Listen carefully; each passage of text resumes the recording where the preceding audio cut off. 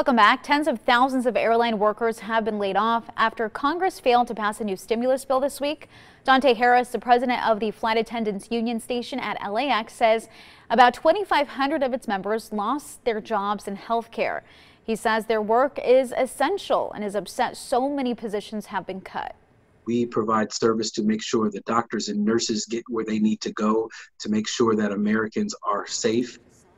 House Speaker Nancy Pelosi said if a bipartisan agreement isn't reached to help airline workers, she'll push for a standalone bill to extend payroll protections for another six months.